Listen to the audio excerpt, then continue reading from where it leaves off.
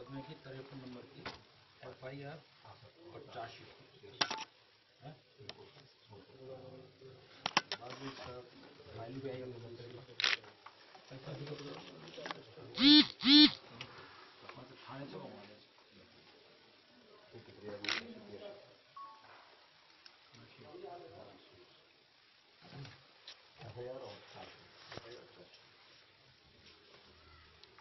अच्छा चौबीस चौबीस किलो चरस था एक एस एल आर थी चार पिस्टल दस ईसा अठारह अठारह पकड़ एस एल आर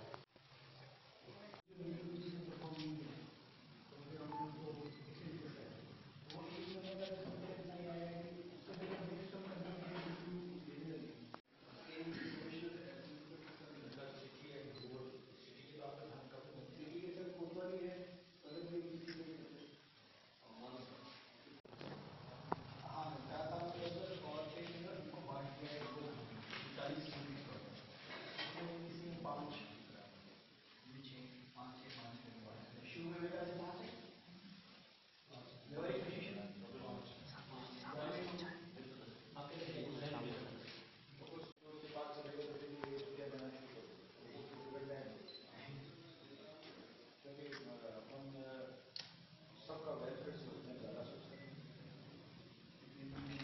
मैं वो आई आर वार्षिक निरीक्षण का भी है क्या क्या विज़िट करेंगे किन किन थानों का ये सर्किल बाड़मेर का वार्षिक निरीक्षण है और इसमें सर्किल कार्यालय का इंस्पेक्शन है। साथ में इस सर्किल के जो नौ थाने हैं, उनकी क्राइम मीटिंग दी जाएगी और कल बाड़मेर ग्रामीण थाने का निरीक्षण है। बॉर्डर थाने चोटन सर्किल में आते हैं। इनकी कल मीटिंग है और कल अ, जन सुनवाई और सीएलजी की मीटिंग का होगा। सर एक बॉर्डर से सीमा पार से कई बार तस्करी की चीज़ें बाड़मेर में आने को ही है और पुलिस और एटीएस ने संयुक्त कार्रवाई करके उनको पकड़ा भी है। हर बार जाँच में खुलासा ये होता था कि बॉर्डर पार से ये सारी चीज़ें आती थी लेकिन बीएसएफ हर बार नकारती थी। लेकिन फ़िलहाल जो बीएसएफ के जवान हैं, वो इस तस्करी में लिप्त गिरफ़्तार भी हुए जिसमें एक बाड़मेर का भी है, जो दो हज़ार चौदह में बाड़मेर में पहले रह भी चुका है और संभवतः ये जो स्वरूपा का तालाब वगैरह इस बॉर्डर इलाके में तैनात है। ऐसे में क्या उस कांस्टेबल को बाड़मेर में लाके पुलिस पूछताछ करेगी और क्या इस पुष्टि आप क्या इसमें जो पूर्व में तफ्तीश पूरी हो चुकी है, चालान पेश किया जा चुका है और अगर कोई नए तथ्य सामने आएँगे उसमें अगर कोई दोषी पाया जाएगा तो उनके खिलाफ भी कार्रवाई की जाएगी। जो पंजाब पुलिस द्वारा जो कांस्टेबल बीएसएफ का गिरफ़्तार हुआ है प्रेम सिंह नाम से तो क्या उसके वो बाड़मेर में तैनात है तो उससे भी क्या पूछताछ की संभावना है पुलिस द्वारा? जो अगर ऐसे तथ्य सामने आते हैं कि किसी स्टाफ की इसमें मिली भगती है और उसका इस अपराध में कमीशन भी है उसका निश्चित रूप से कार्रवाई की जाएगी। दूसरा सर सीमावर्ती थाना है और वहाँ पर क्योंकि तस्कर सक्रिय होने की भी इस तरीके की इनपुट आते हैं। उसको लेके कुछ विशेष हिदायतें वगैरह दी जाएगी? कल क्राइम मीटिंग है बॉर्डर थानों की तो सभी पहलुओं पर इस पर विचार किया जाएगा। सीमावर्ती इलाके में सतर्कता की भी बात होगी। पूर्व के जो ऐसे अपराधी जो सक्रिय रहे हैं उन पर निगरानी की बात होगी। और जो तस्करों का गठजोड़ है और है सभी पहलुओं पर चर्चा होगी तो सर क्या बीएसएफ के कुछ अधिकारियों के साथ में भी इसको लेके कुछ मीटिंग नहीं अभी मेरी पुलिस अधिकारियों के साथ ही है और बीएसएफ के अधिकारियों से जोधपुर में भी हमारी वार्ताएँ चलती रहती हैं और एक महीने दो महीने से हम इंटेलिजेंस और सभी अधिकारियों से चर्चा करते हैं। सर अपराध के जो ग्राफ है उसमें कमी किस तरीके से आ सके? इसको लेके कुछ देखिए वर्ष 2015 के अंदर बाड़मेर में अपराध मार्जिनली इंक्रीज हुआ है।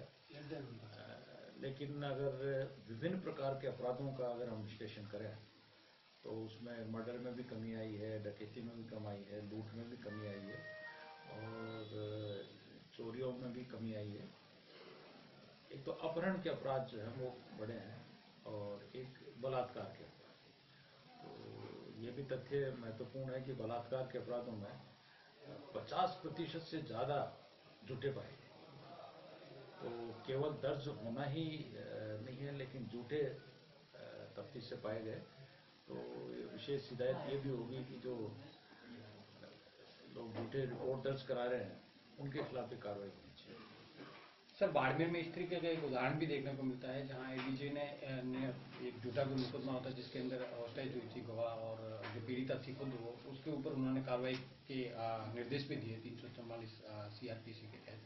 तो इस तरीके के मामलों को क्या पुलिस भी जहाँ झूठे एफ़ होती है झूठे मुकदमे होते उसके अंदर उनके खिलाफ हाँ तफ्तीश में जो मामले आते हैं उसमें एक सौ बयासी और दो सौ ग्यारह आई का के अंतर्गत कार्रवाई की जाती है।